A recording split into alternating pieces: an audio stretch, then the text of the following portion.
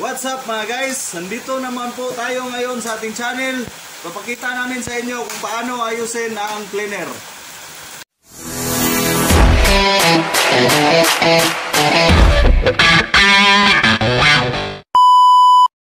Ito guys, umpisahan na natin. Unang, ang nangyari kasi nitong ano guys, cleaner na to, hindi nahigpitan ng may-ari yung holder ng blade. Ang nangyari, natanggal yung blade, naiwan sa ilalim yung ano, holder. Ito, hindi siya, hindi, hindi natin siya maikot ng patuloy kasi ano eh, andun sa ilalim. Tanggalin natin yun. At ipapakita, eh, pinapakita ko ito sa inyo guys para malaman nyo kung paano baklasin o palitan ang bearing ng trainer. Ito guys. Natanggalin natin itong extension ng blower niya. O ano kaya ang tawag ng saktong pangalan nito guys? Tapaludo to guys. Kung sa kung sa gulong pa guys, tapaludo to guys eh. Tapos tanggalin natin yung carbon brush bago natin siya baklasin. Ayan. Itong carbon brush niya guys, ito, ang number nito guys, number 50. Pag bumili kayo sa hardware.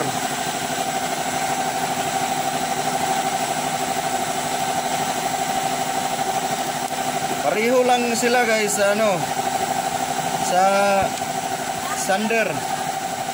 Sander na Kawasaki, pareho lang sila. Tapos guys, tanggalin natin dito yung cover. Cover sa belt.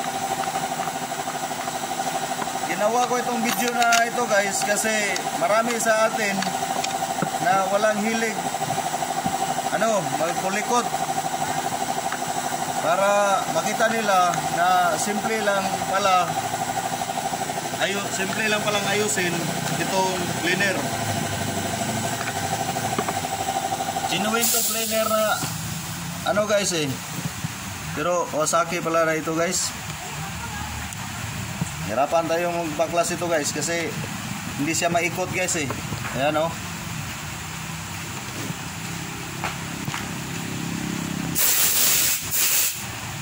Ayan. Tapos, tanggalin natin ang cover. Cover sa almature.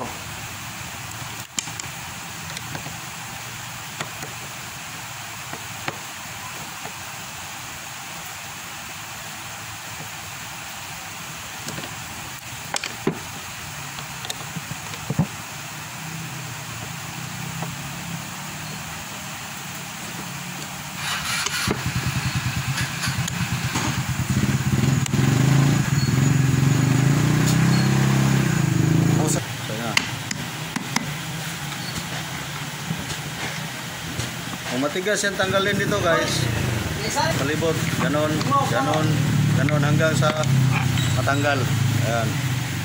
Ito yung armature niya guys. Ito yung, ito yung bearing niya guys. Ang number ng bearing sa armature guys is 6 to 7 6 to 7 ang number ay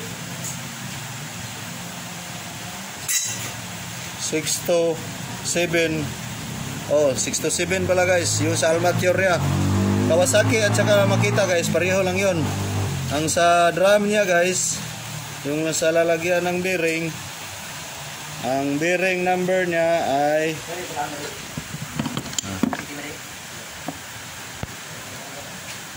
Ang sa drum number niya ay 603. 603. 60. No, do dyan. Pusa dyan. 608 ang ano.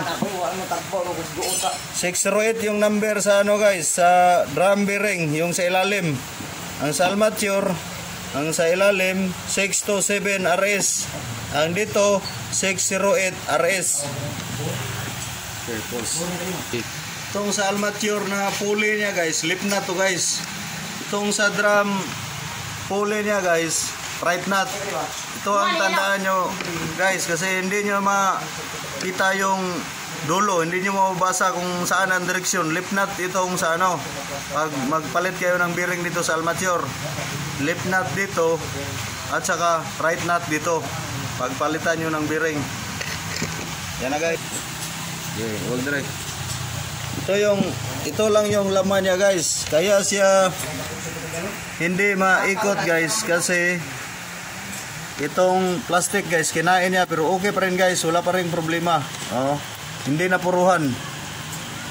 Hindi pero kadalasan nito guys pag mangyaring pag mangyari yung ganong klaseng pangyayari mabasag yung housing. Hindi na mapaginabangan at yun lang guys maraming maraming salamat sa inyo